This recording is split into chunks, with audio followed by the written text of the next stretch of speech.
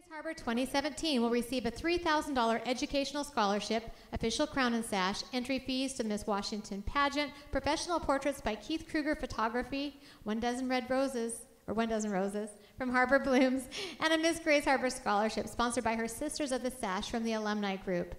The 2017 Miss Grays Harbor is Ariana Berry.